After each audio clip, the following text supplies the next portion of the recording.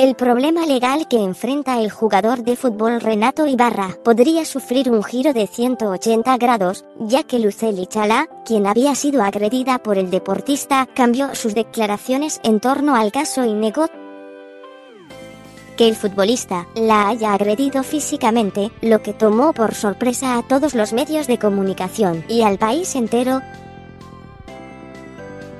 Luceli Chala declaró que Renato Ibarra no la golpeó como si había estado manejando el caso, y explicó que no tiene un recuerdo de que ella haya referido algo semejante en entrevistas anteriores. Al respecto, la pareja del futbolista narró lo siguiente ante la jueza que lleva el asunto.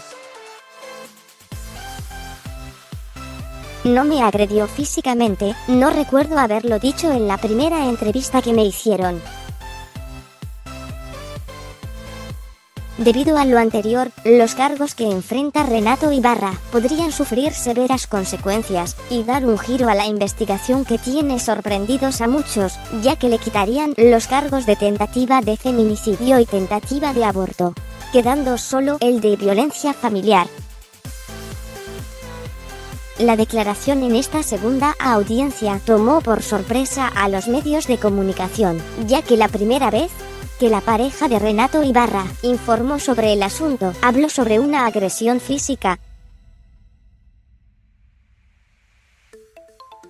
Por su parte, luego de la segunda audiencia,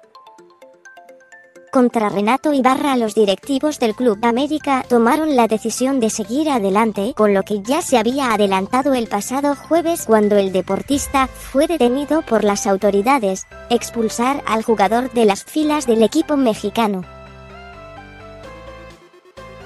Aunque la decisión ya estaba casi tomada, el comunicado del Club América sorprendió a todos los seguidores de este equipo deportivo de fútbol mexicano, ya que el futbolista era una de las estrellas. Sin embargo, el club ha sido claro en su política de cero tolerancia con los temas de violencia hacia la mujer.